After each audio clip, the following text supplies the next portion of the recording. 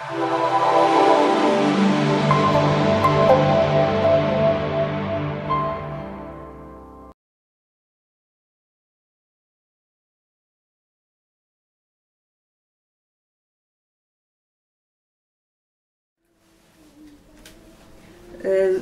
זה מגן לידית של דלת מקרר או על ידית של אה, תנור אפייה.